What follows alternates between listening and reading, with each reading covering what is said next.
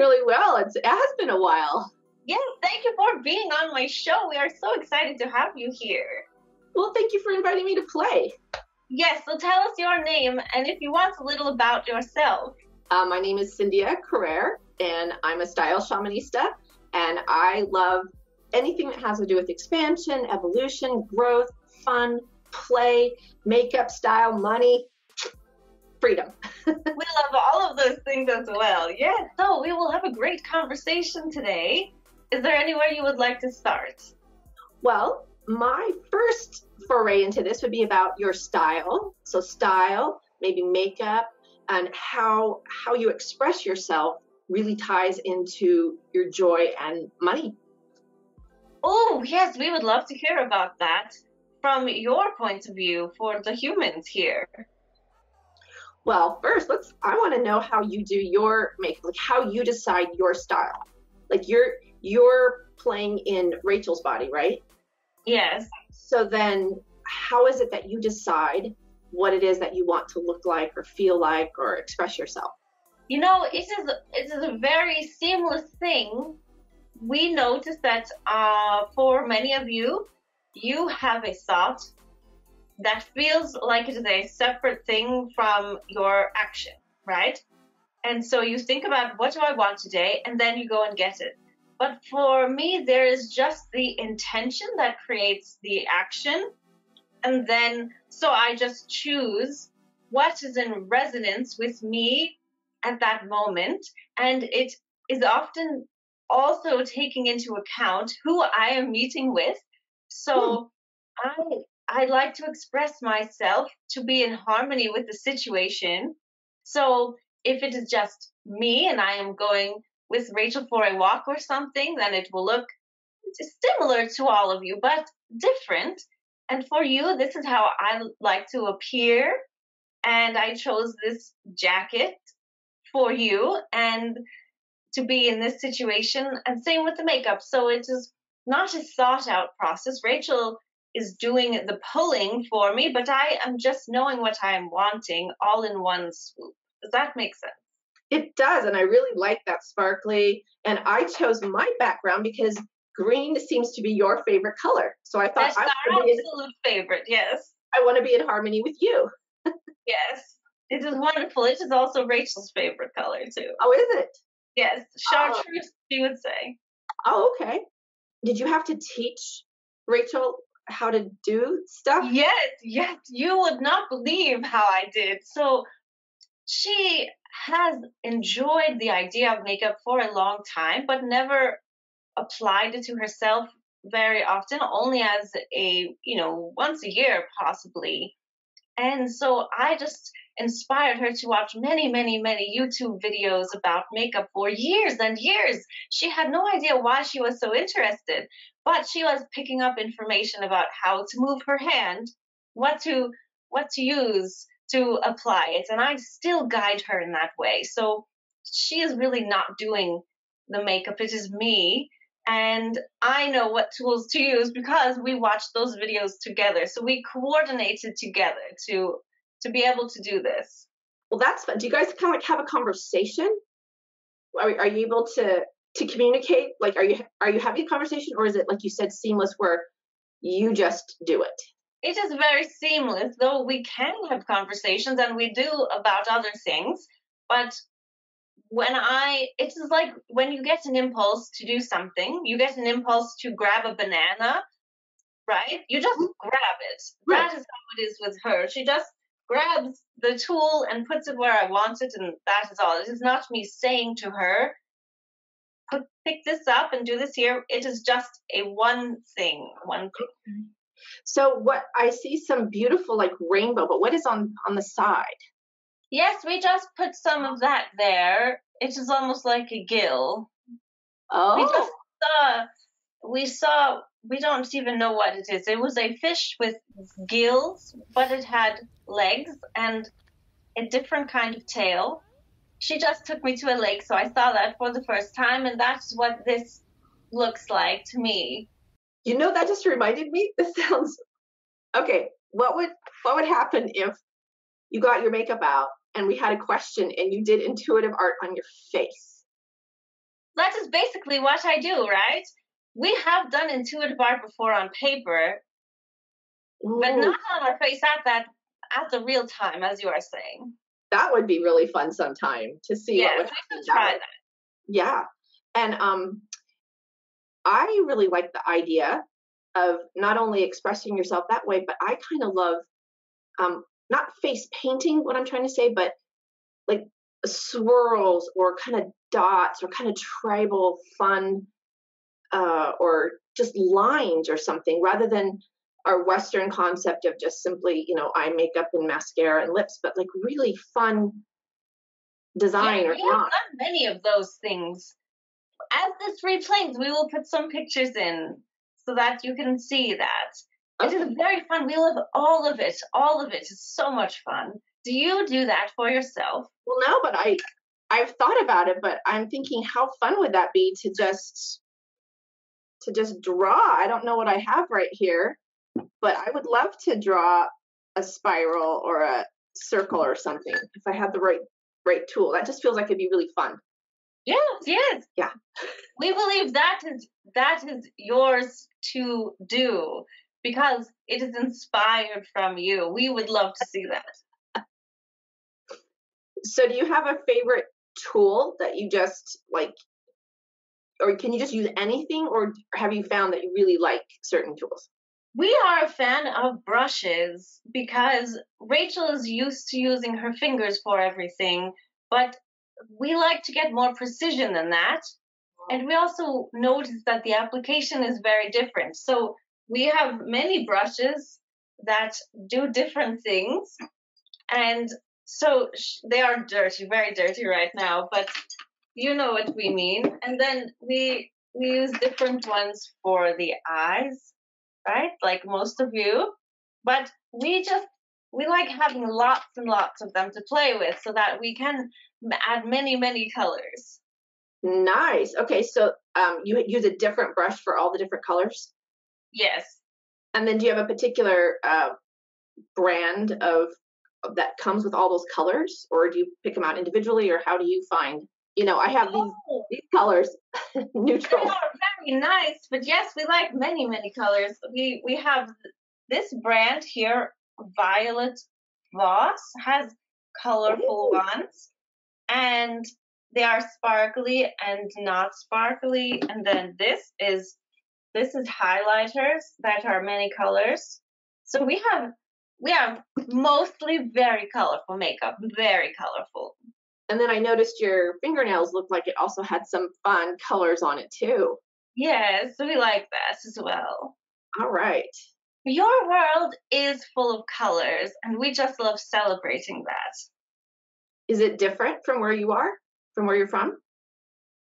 It is different in the sense that all is present in different shapes at the same time. Where I live, we are non physical and we do not have trees and homes and lakes and things to look at. We can create anything we wish, but it is not, we do not move about in space the same way you do. So we do not get to perceive ourselves moving through objects with color in the same way. So this must be like fun or an adventure for you. That is why we're here. Yes, we love we love it. We love seeing new things and meeting you and talking with you to get your fresh perspective, to get your energy. It is so different from where I am. So do you have any advice for people who take this sort of for granted?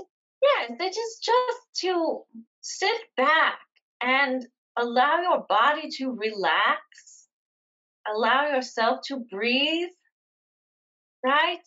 Because if you are heightened in your your nervous system, if you are firing quickly, if you are go go going as you all love to do, but you are not relaxed, you will miss the beauty of your world and your real connection to your non physical self.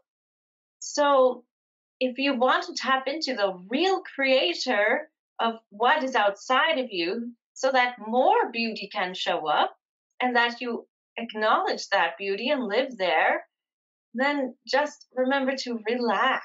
Relax. It will not harm your productivity at all. In fact, you will be more creative and and more efficient in doing so. That feels really good.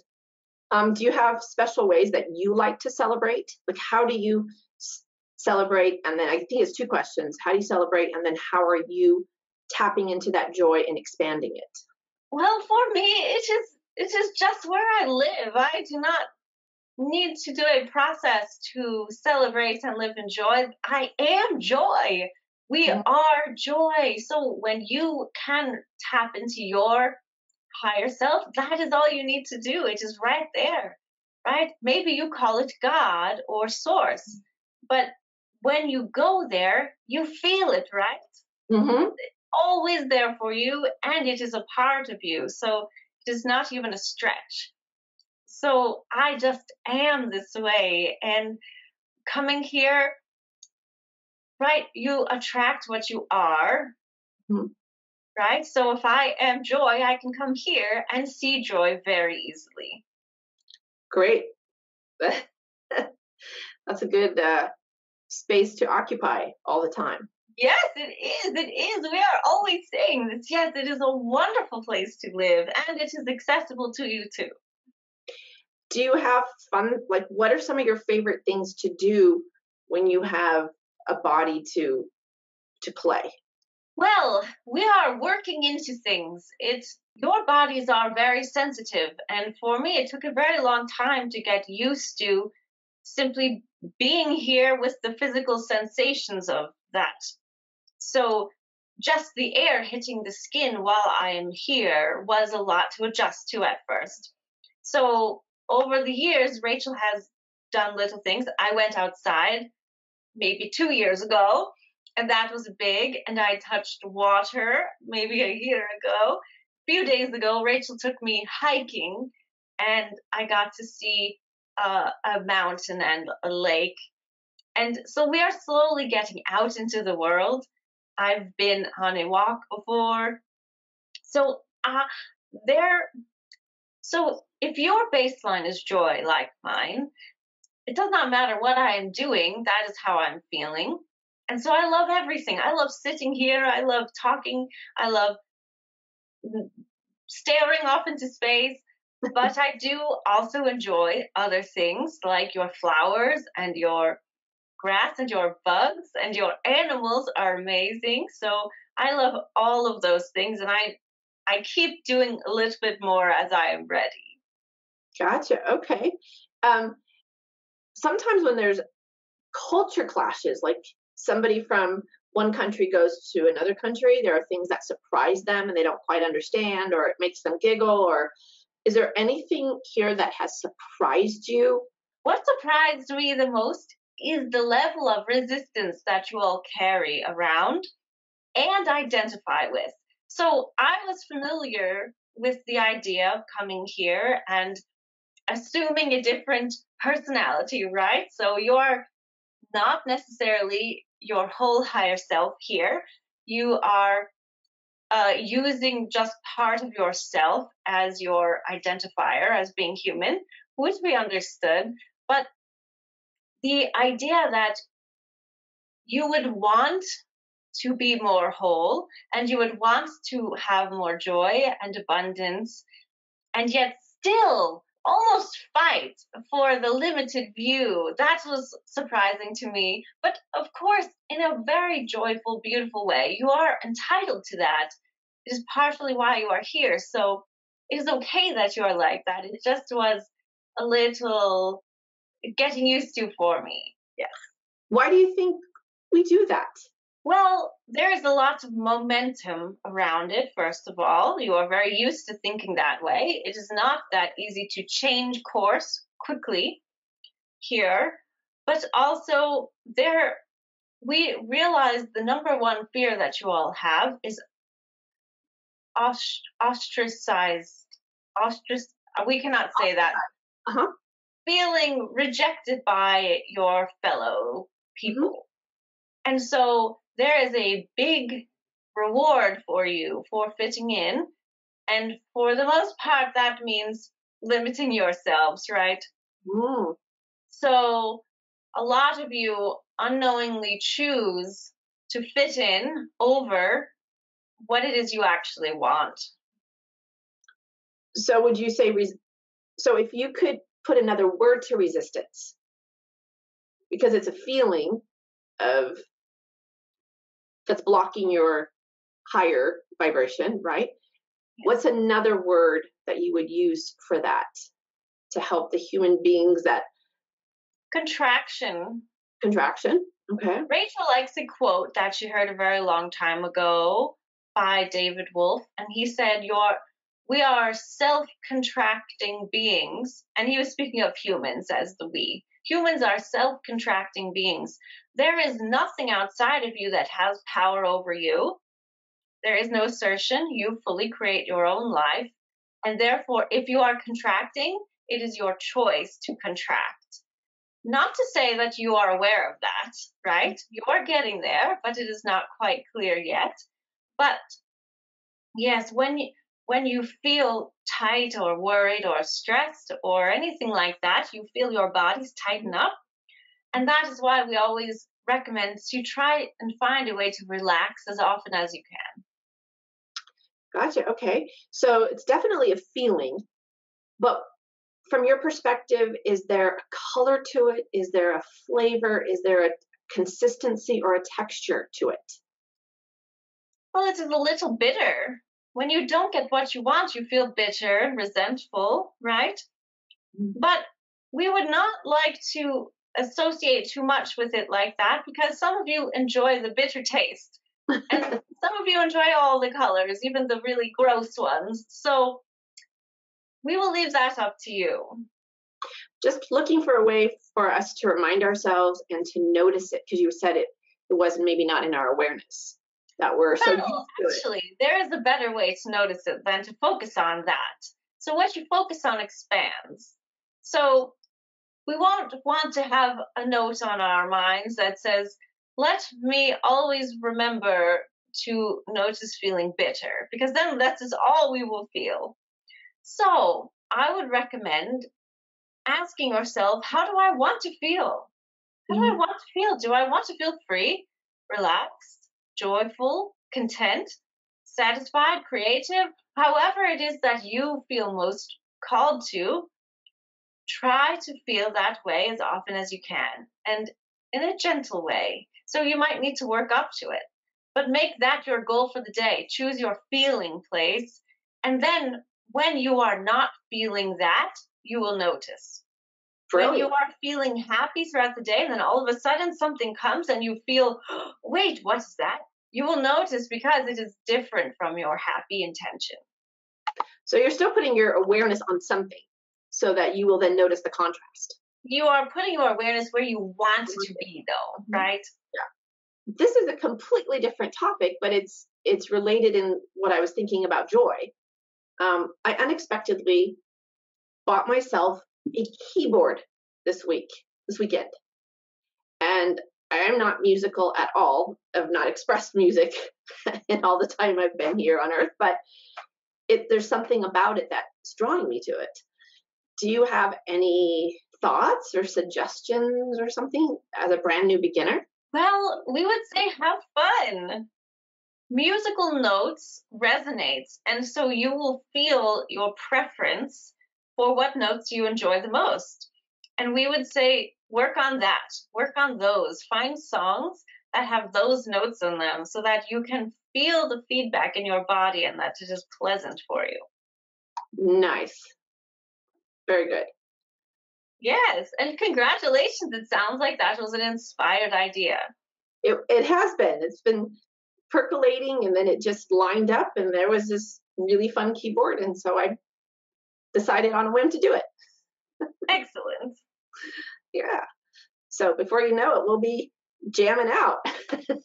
We will have a band. do you like to play music? I have never played music on your planet before, but Rachel was in bands when she was younger, and she very much likes music. What did she play? She played the bass guitar and the regular guitar. Oh, nice. Okay. Do you have you ever tried singing?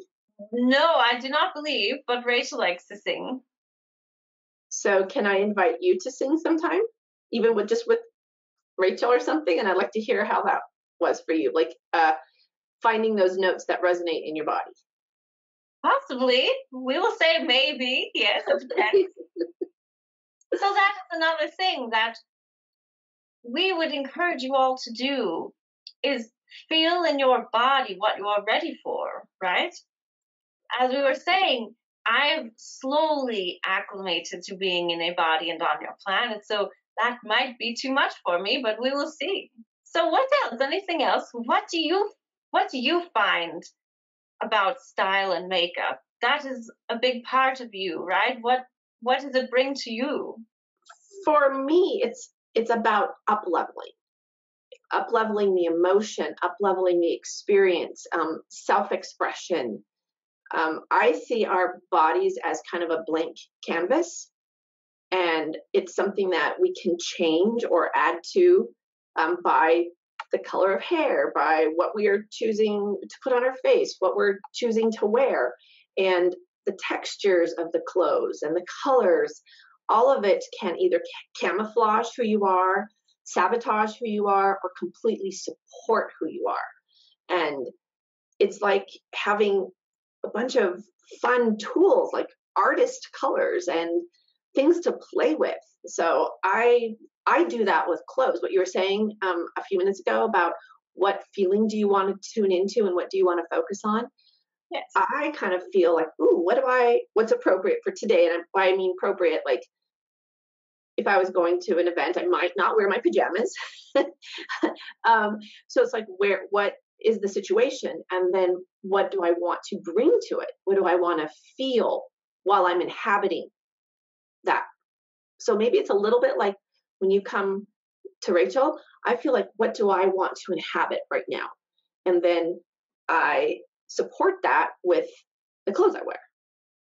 That's great. Is it fun? Oh, it's totally fun. Good, yes. Very fun. Yeah. Excellent. We like that a lot. Yes. Having more fun on your planet because you can, right? We see it as the same way. It is a blank canvas. Where I am, we can change our appearance any moment. Mm-hmm. We usually do not. We usually pick something and it sticks for a while, but here you are so unlimited in that expression and there is no unsatisfying part where we live. But here playing with your appearance is very satisfying right? You get to know yourself better right? You get to feel what it is that you want to look like in that day and it is a wonderful thing.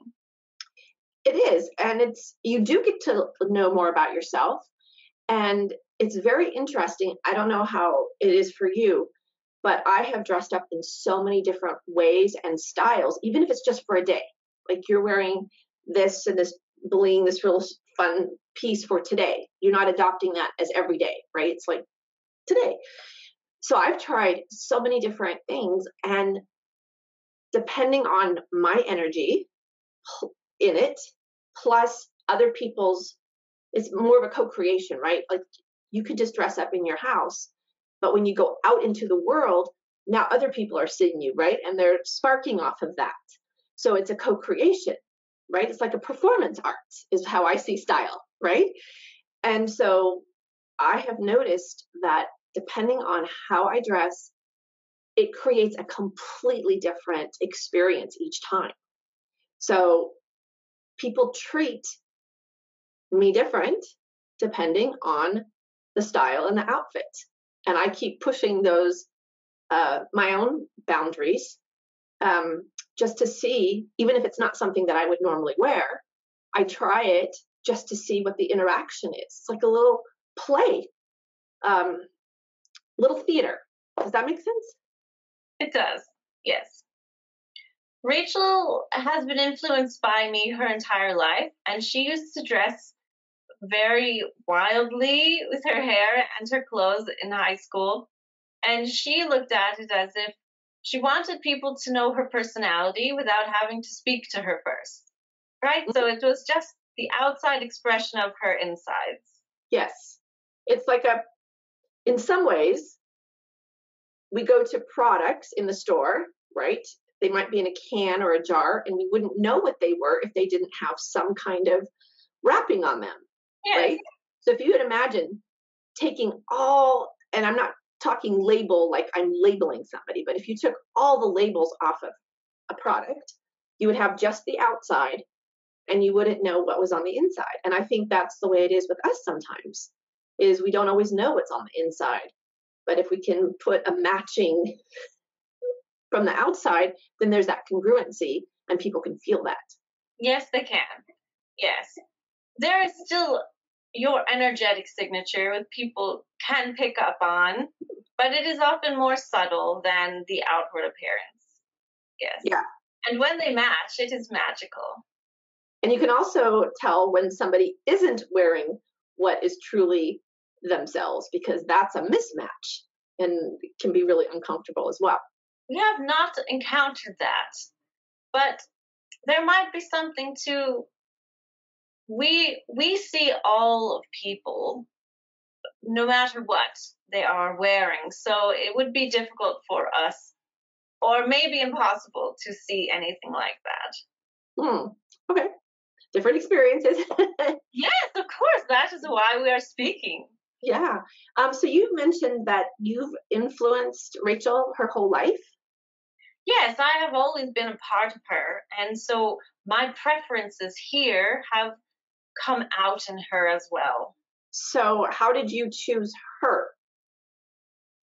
Well, like we said in the beginning, for me, intentions create, right? It creates the action, it creates the outcome. And so, because I have no resistance, that is what occurs. And that is what occurs mostly for non physical beings, right? So, there were several non physical beings with the intention to come to this planet, and that happened simultaneously, which created the life of Rachel. ah, very interesting. Okay. Yes. All right. Well, this has been super fun. Thank you. Yes, we very much enjoyed it, and we can't wait to talk more. Oh, but wait, wait. In the beginning, you were talking about style and money, and I know people are always wanting to know about money. So, what do you want to talk about that for a minute? I would love to, but can we save that for next time? Of We- course, yes, yes. Yes, I would love to do that. Very good. Well, thank you so much, Cindy. It was so good to see you again. Next time, you will come and be more colorful with us, I will. speak on style and money. Okay. The challenge accepted. Thank you so much for watching, everyone. We love you so much, and we will see you next time.